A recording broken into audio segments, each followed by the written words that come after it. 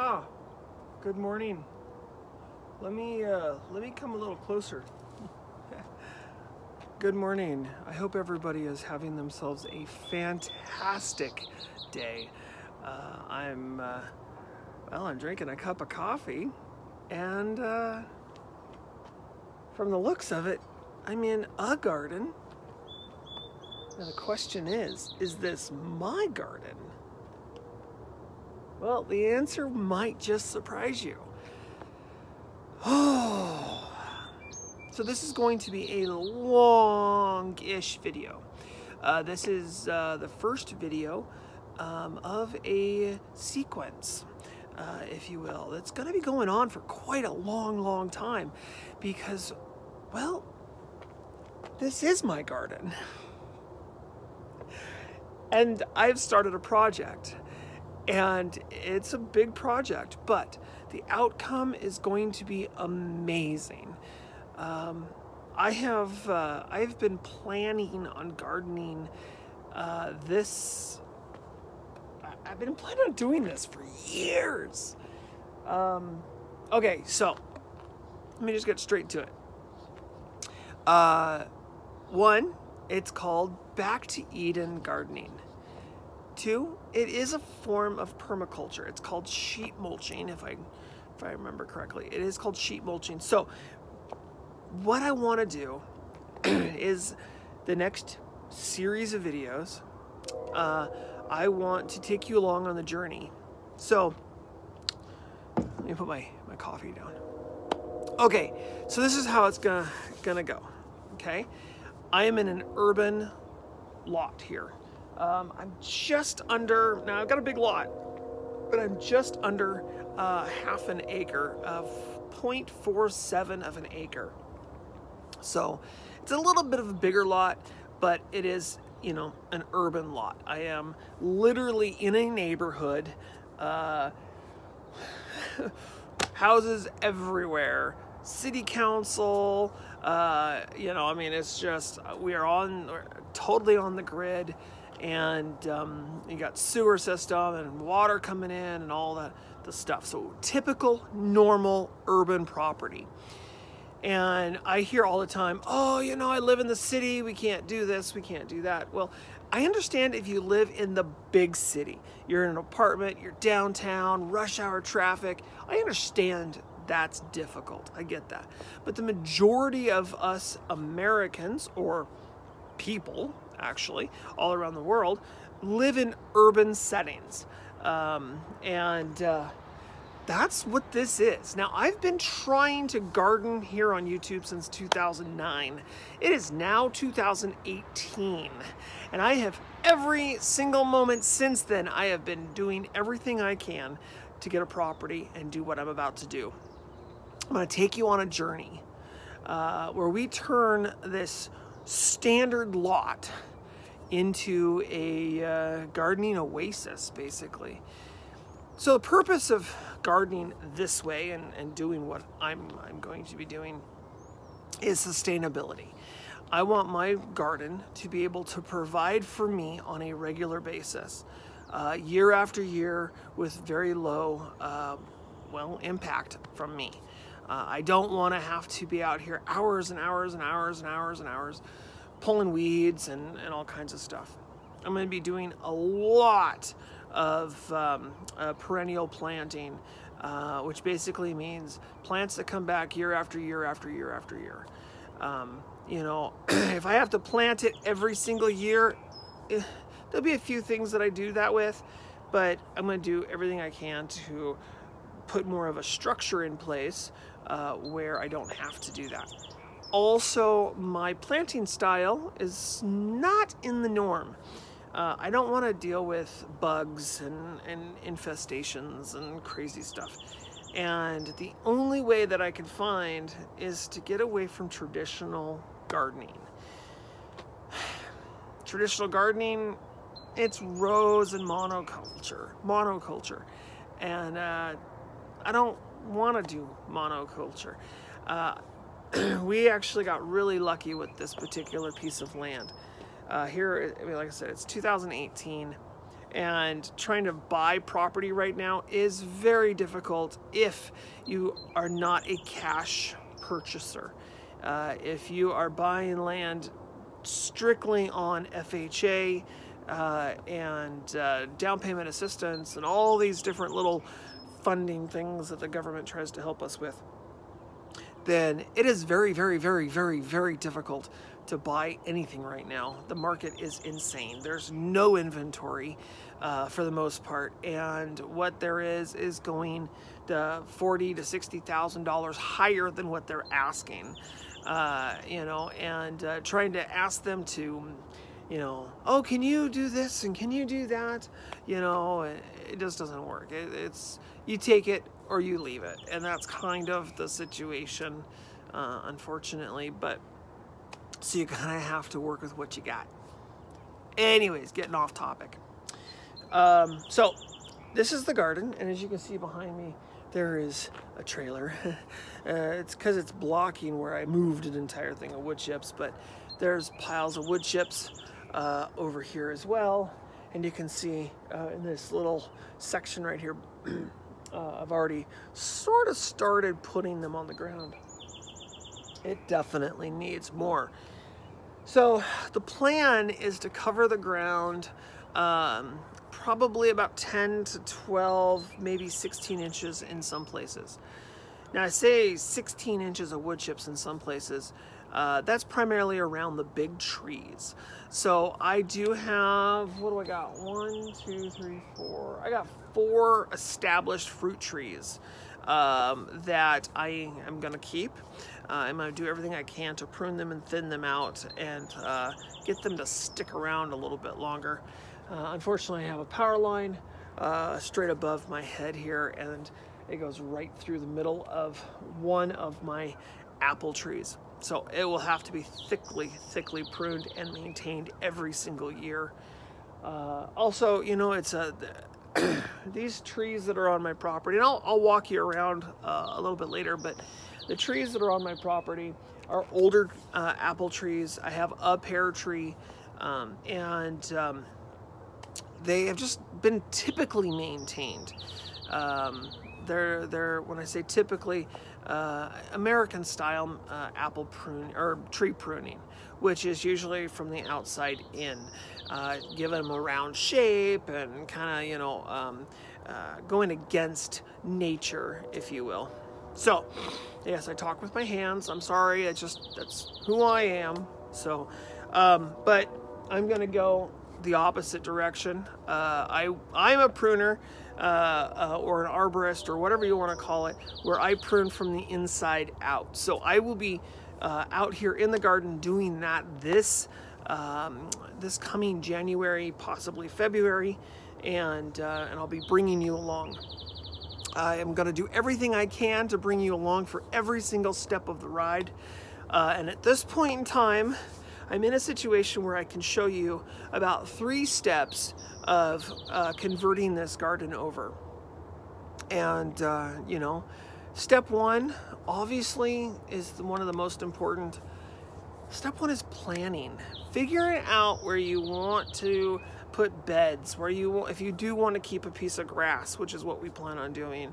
Uh, if you want to put a fire pit in, if you want to put in a play area for the kids, um, you know, because it's an urban setting, we still have to live in our backyards. Yeah, you don't want to walk out the back door and immediately enter a food forest. Uh, you want a little bit of a buffer uh, before you get there, especially for guests. You have a guest come over, you know, the typical American, um, they don't get it. It doesn't register. Uh, they just look at it like, oh my gosh, your yard is way overgrown. That's what they say. That's what they think. Uh, honestly, I talk so fast. Actually, I think it's because I'm super excited. So, um, okay, so the um, foundation is the most important. It's step one, number one. Uh, if you're going to convert your yard or your garden um, uh, or do what I'm doing, converting an urban property, um, it is imperative to plan, plan, plan. I would say 90% of your labor or your work is planning out your garden.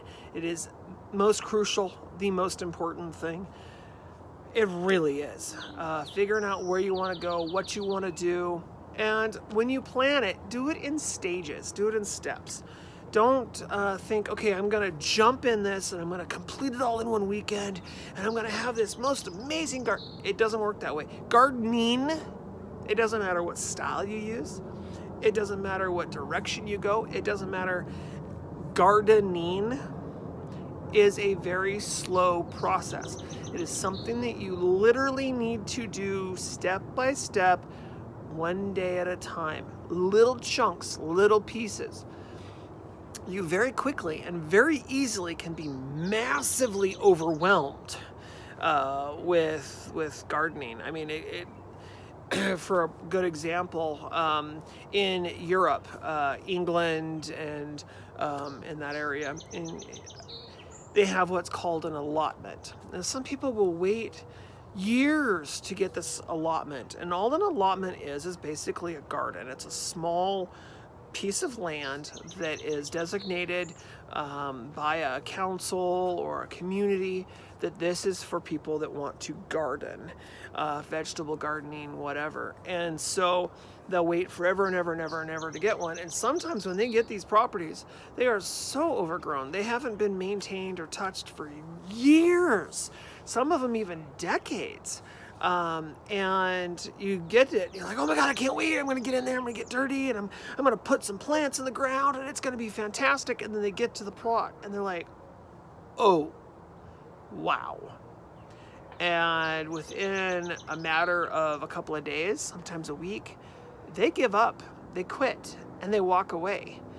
And then the plot will sit for another year and another year and another year and another year well, the person is thinking, someday I'll get in there and I'll finish it. So go slow, take your time. It, it is a long process. So what our plan here is, is we're going to convert this standard lot uh, basically into an urban homestead. Um, and it is going to be a very long process, but it's okay. Um, I'm not in any massive hurry. I'd like to be done by uh, this time next year, possibly spring, uh, with putting down the wood chips. Um, I'd like eventually to bring in some chickens and kind of do just the typical back to Eden garden uh, method or setup that Paul Gautschi has. Now that's where I got the majority of my uh, information uh, for this style garden. So if you, uh, not right this minute, but if you want to know more about that, uh, look up Back to Eden Garden. Um, they have a, a, little documentary movie and uh, also there's a, a creator uh, by the name of uh, L2 Survive. They call him, I think they call him that nub. um, or the nub or something like that. But uh, anyways, he's filmed a ton, a lot of people have, a ton of Paul Gautschi uh, in his garden and giving tours and stuff of what he's doing. And that is kind of the direction that, that I'm going. Not so much for the tour, I, I don't want to do any of that. I wanted to bring you along for the ride. This is basically the tour. Bring you along for the ride and show you how you can do this. The more people that are on the internet that are talking about permaculture, talking about back to Eden, talking about homesteading, talking about this stuff. Um, I think the more people will want to do it for themselves. You know, there's a lot of information out there, but unfortunately, I think a lot of the information that's out there is jumbled or misleading. Gardening is weird. There are thousands of different ways to garden okay? Hundreds of thousands of different ways, different styles, different methods.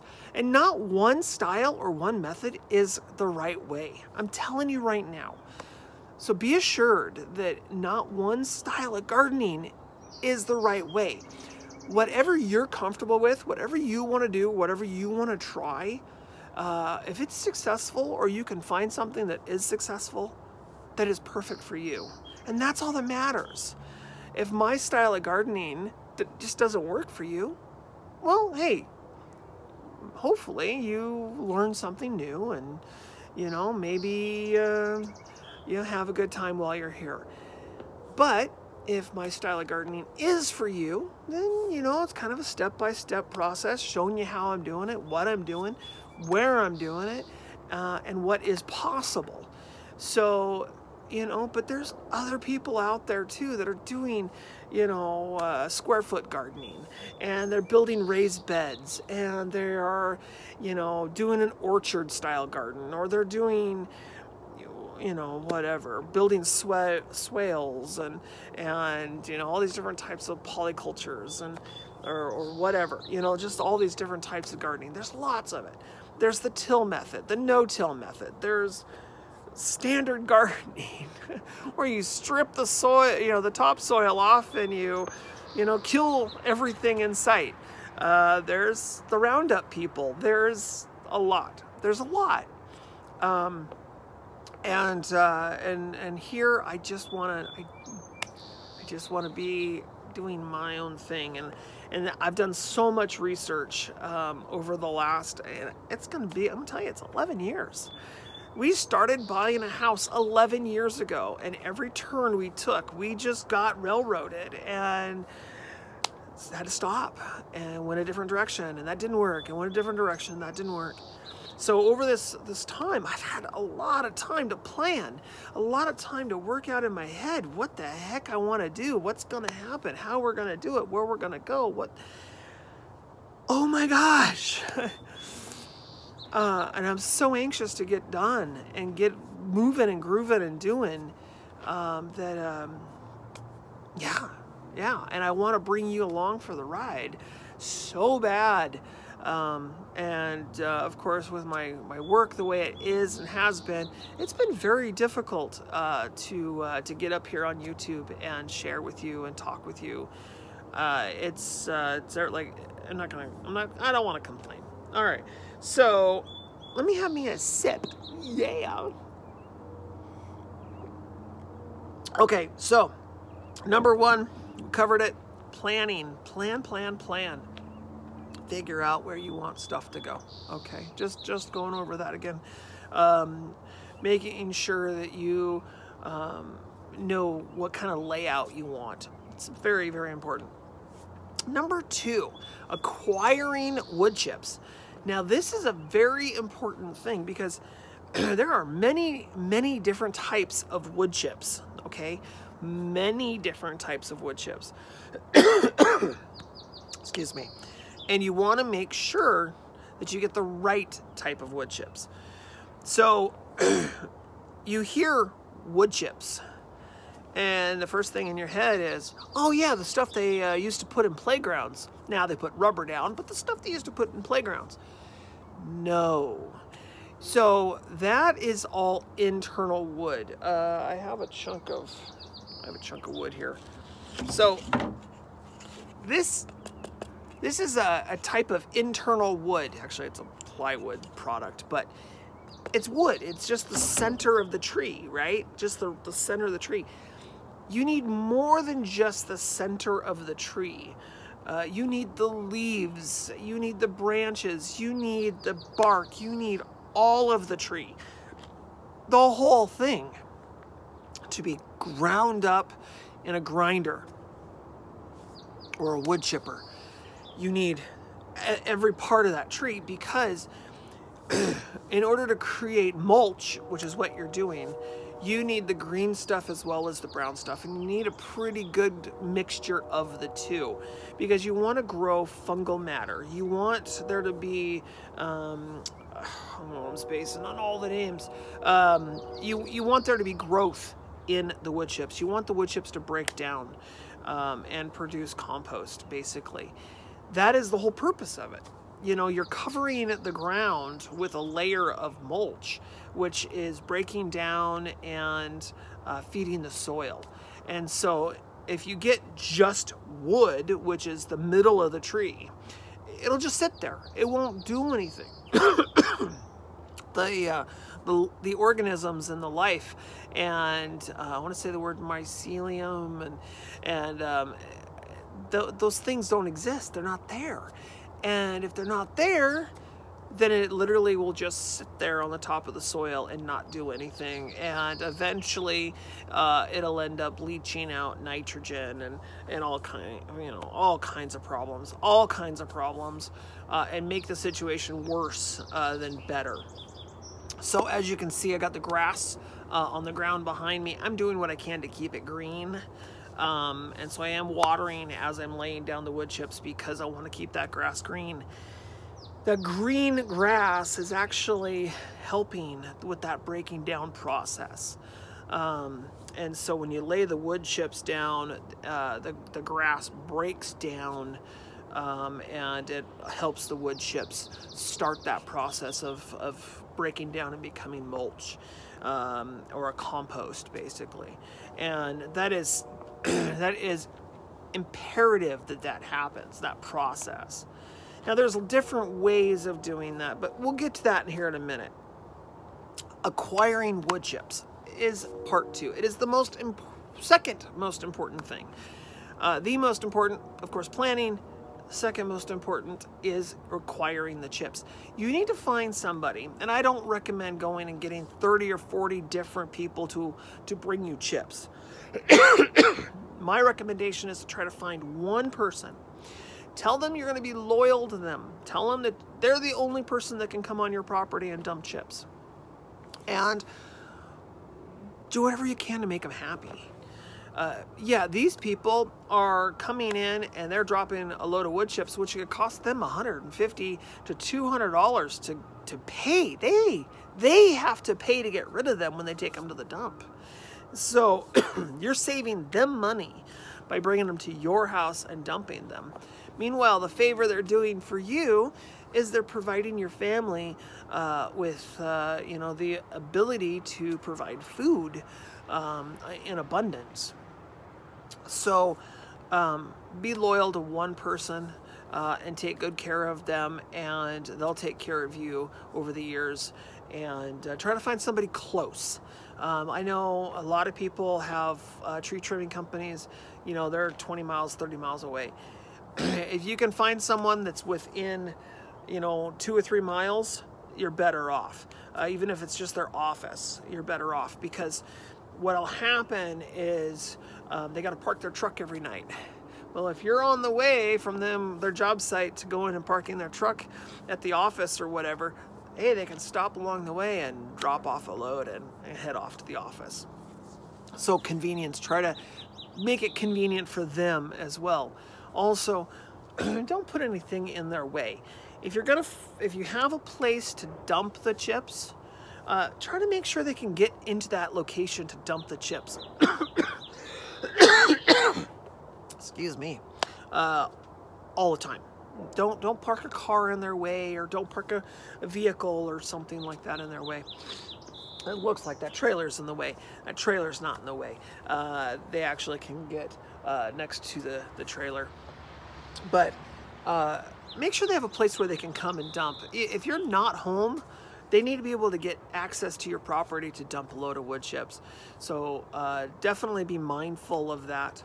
Um, if you don't have a way for them to uh, drop a load on your property, like in the grass or wherever, and instead they have to do it on the street, which I don't I don't ever recommend letting anyone dump anything on your street, especially wood chips, uh, because you have to get it moved, or you're paying a fee, a fine.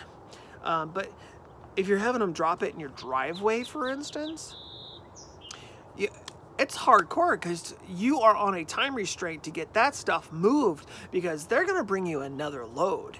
And so your driveway is going to get full and then they have a load they need to dump. They have nowhere to dump it and they know you want it. So now they're dumping it in the street or they're, they, so my, my thought, the driveway is the last resort. Um, my my setup, the way I've got it, is they dump it over here.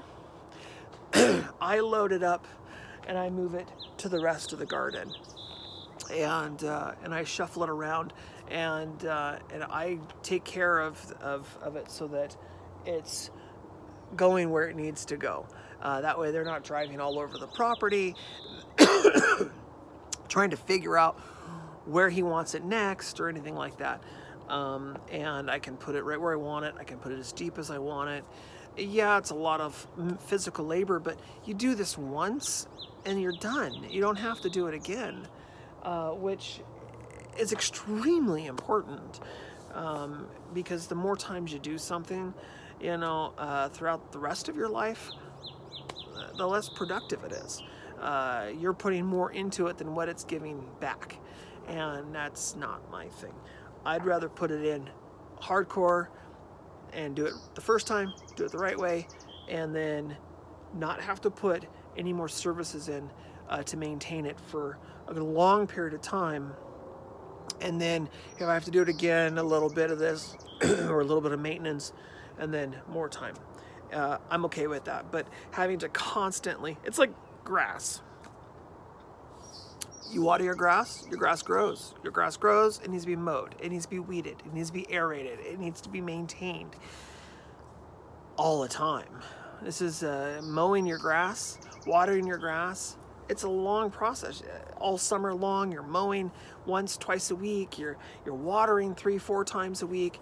You got the cost of the gasoline, the cost of the lawnmower, the cost of the weed whacker, the cost of the water. It's a high maintenance thing. And honestly, the payback is very little. Um, very, very little. You, you actually don't get uh, a whole lot out of grass other than to see this green patch of land, and that's it. So, yeah. Anyways, so part two, the right kind of mulch. You want the green and the brown. You want to take care of the people bringing it to you. Take care of them. Tell them that you're grateful. Bake them some cookies. Do something to show them that uh, that you really do appreciate their you know their service and their time and uh, the, them dropping this stuff off. Um, okay, so part three comes down to location and placing this stuff where you want it. Now, if you're gonna be going, and, and this is all debatable, okay? But if you're gonna go in and place, I'd say six inches of wood chips in or under, maybe even eight inches or under, you wanna put in some sort of sheet mulch. So that would be newspapers, cardboard. Uh, if you do put cardboard down, make sure that you take all of the tape and, and all the non-cardboard stuff off uh, and which is debatable. A lot of people don't like cardboard because it's got a lot of glue and stuff in it because uh, it's, you know, held together. Um, yeah, so any type of uh, fabric, or uh, not fabric, you don't, don't ever use landscape fabric, horrible stuff. But any type of covering that you end up laying the wood chips on top of,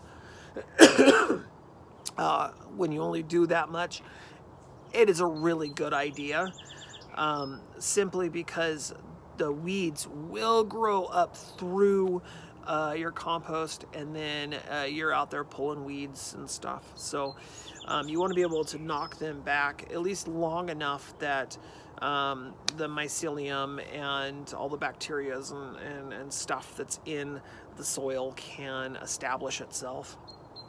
Uh, the other thing is when you lay it down, lay it down thick. Uh, lay it down thicker than what you intend because what's going to happen is when you first put it down, it's got the, it's big and it's got this air pocket and it's very fluffy. And uh, and so lay it down real thick uh, because what happens as it collects moisture and time, it, it starts to kind of compact and smash down and get thinner and thinner and thinner. So uh, lay it on nice and thick and you should be good to go. So there's that. Now, planting. If you have any questions, by the way, leave them in the comments section below. I'll, I'll get to them. But uh, when it comes to planting in it, you don't want to plant you don't want to put plants or starts in the chips. You want them to be in the soil. And as they grow up, you slowly push the compost or the, the wood chips back. So, okay, that's kind of a, a little bit of get to go. Um, you know, talk about maintenance and all that stuff later and answer any questions and that kind of stuff later. so let me give you a tour. Um, it's going to be a little shaky because I'm going to turn the camera around and hold it, but let me give you a tour of what I got going on so far and show you what there is and isn't and what's happening and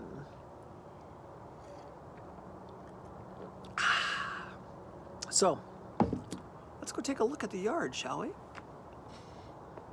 oh my friends my friends my friends this is a pile of wood obviously a pile of wood uh, this is what little bit of wood that I have um, received from taking out bushes. and, oh look, it's a bush. And the smell is so amazing. So, um, stand back here, you can kind of see the back property there. so, if you can see, let me point to it. There's the power lines, runs right through that apple tree. I'm not sure what this tree is right here, but it's gonna go. We're gonna get rid of it.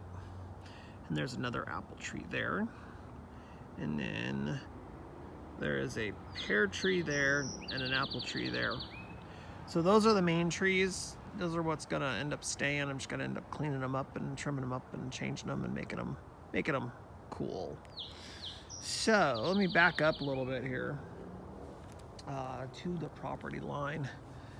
Okay, so there was this huge, huge, huge bush here on the side of my house. As you can see, we trimmed it and hacked it out. And this is what's left. uh, we had three loads to the dump and I cut them up and stood on them and packed them down but we had three loads of wood go to the dump so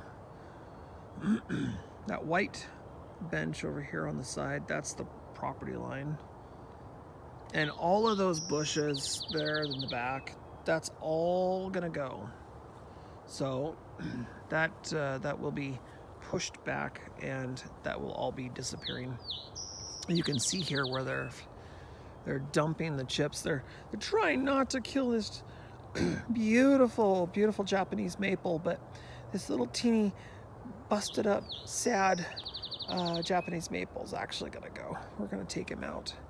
So yeah, they, they can go right over it. so look at that.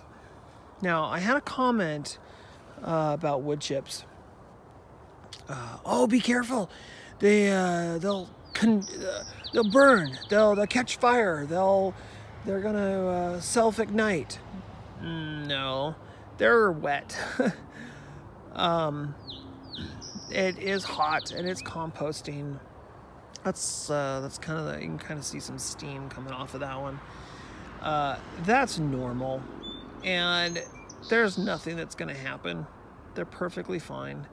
Um, and all of this is getting moved hopefully soon. uh, in front of the trailer here uh, was a huge pile of wood chips from here all the way to the back that I moved. And I'll show you where I put that here in a few minutes. But um, wood chips come in different forms. And there's different things in them depending on what kind of tree. Like this was here, a pine tree. So you got all these needles and stuff. These will all break down the same. So it's it's fine. You don't have to be perfect. It doesn't have to be the most amazing thing. I'm trying to keep sticks and branches and stuff out, the big stuff. Um, and bark, huge chunks of bark, like that on the ground. I'm trying to get, keep those out um, so they're not around. But um, you know what? It's fine. It's all going to break down eventually. So, from where the this bush here starts to that back fence is probably about eight feet. So that bush is all coming out. Actually, all of the greenery that you see right now is all coming out, including that half-dead tree. The tree won't come out until spring, but all the bushes are coming out uh, very shortly. All the way over to there. so this is an apple tree. Not exactly sure what kind, uh, but it is in dire need of a good pruning. Um, all of the trees on the property have been neglected for a very, very long time. I would say 15 to 20 years. Um, thank goodness there's not a ton of suckers on them. Excuse me. But they've all been neglected. Um, and um, they may or may not all survive. I might end up having to take them out. Uh, I, I, don't want to, um, but I want to. I want to try to save as many of the apple trees as I possibly can. Um, just because they've been around for so long, but the pruning styles and stuff is, is more or less just somebody came in and decided to hack it all down, and it's quite sad. This tree here that we're looking at now is uh, a pear tree and it's a very pretty tree very dense. So it also needs to be thinned out. So lots and lots and lots of wood chips that are going to be moved around and transported. I'll turn you around here. So if you look on the ground here let me back up. You can see I have some bricks and they're kind of this one goes across this way and then it goes to paint and it's orange and it goes all the way around. Back to those bricks and then goes back over to there again. So it's a great big circle basically or like a big speech bubble. Um, that's going to be the grass. That's what we're keeping uh, for grass in the backyard. And then over here, just about where this log's at, uh, we're gonna put a little uh, patio, or not patio, but a little uh, flat piece of, of um, terrace or whatever uh, out of the bricks. And that's where the fire pit is gonna go. And then everything you see up like to that bush, that bush is the property line. So all of this area in here is all to be wood chips and it's to be a garden space for the wife and little secret garden. Shh, don't tell anybody I told you. Uh, okay, so there's the pear tree. Remember the pear tree? And then next to it is another apple tree. And this guy is really old. I would say he's probably close to 40 years. And it's just been hacked and hacked and hacked. So going to try to save him, trim him up. uh, there's a lot of flowers and stuff. So the history of this house is pretty cool.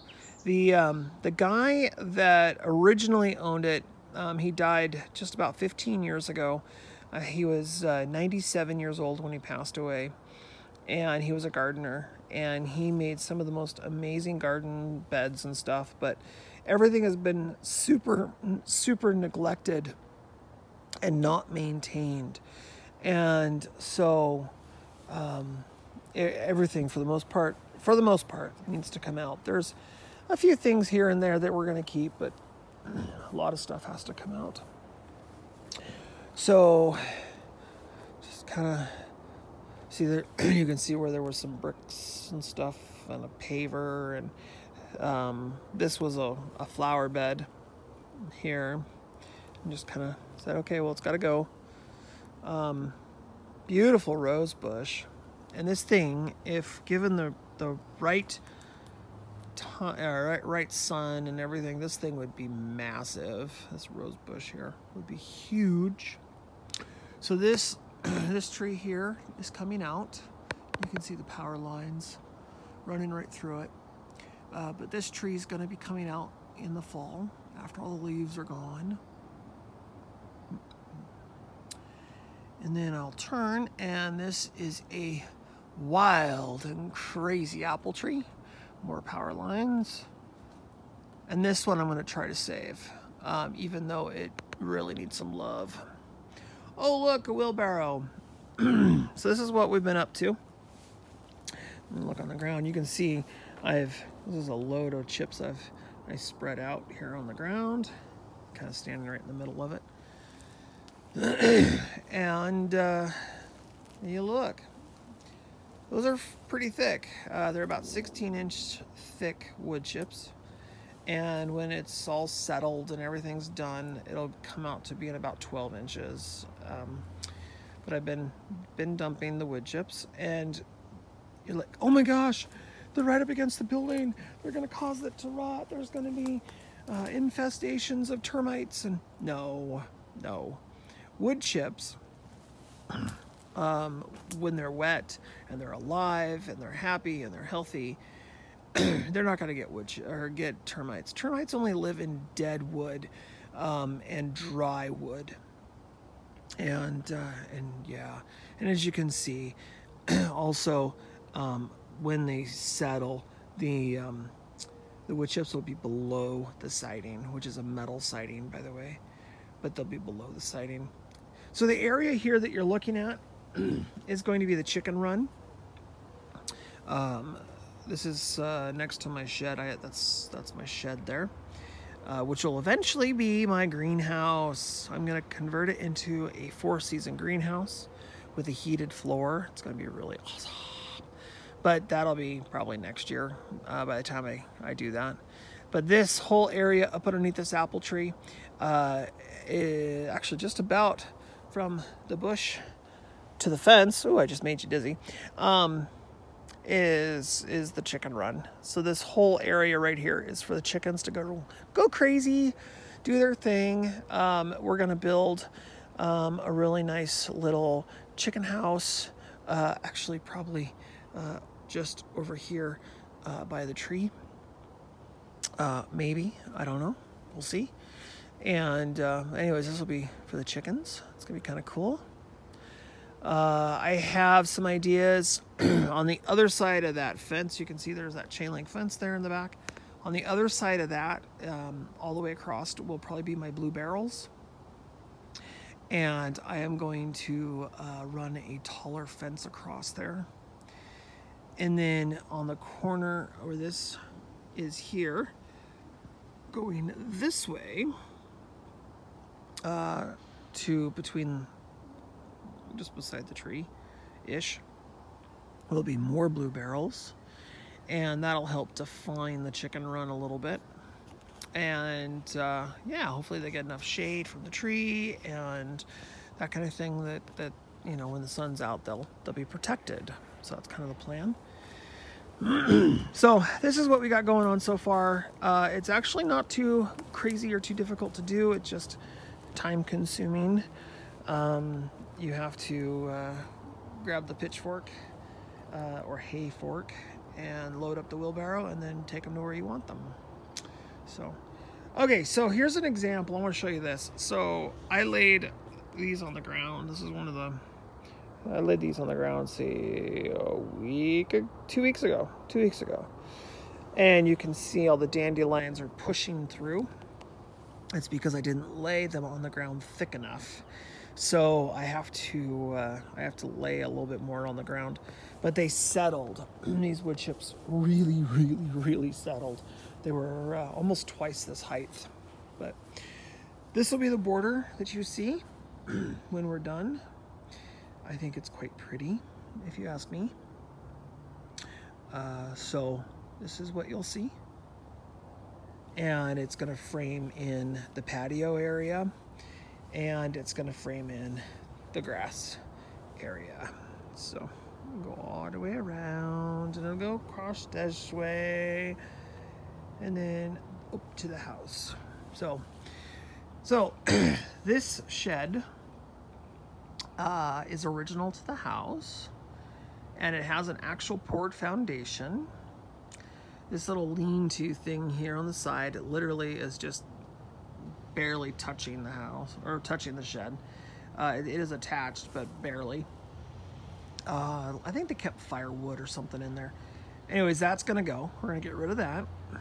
I'm gonna put a glass door on it, like a French door. Um, big, big, solid pane of glass. And then about where that yellow handle of that broom is, there's gonna be a window there. and then over here on this side, the plan, so that, that'll be gone, but so from this corner to the other corner, uh, the plan is to put, uh, if I can, uh, to put two uh, glass sliding doors. And on the other side that I was just showing you, that's the same width as this, putting one glass sliding door. That way it's floor to ceiling glass. And there's a window over here, but I think I'm going to replace it with a four by four um, window instead. Um, so a lot of little work. I'm going to recite it. I'm going to put new roofing on it, but it's going to be heated uh, and, uh, and it's going to be a year-round greenhouse, which would be kind of cool. So here's a view of the yard where we were. I'll move you over this way. So there you go. Okay, so I've spent some time out here uh, showing you around the beautiful garden. Ooh, now my coffee's cold. That's okay, I like it anyways. Um, there is going to be, I know this is a really long video. Uh, in the future, they won't be like this at all, I promise.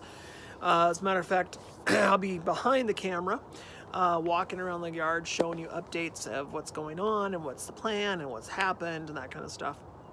Uh, coming up very soon, hopefully this weekend, uh, we'll get a fence up um, and we'll end up bringing in more bricks and we'll do some more stuff out here in the yard and get some more cleanup and stuff done.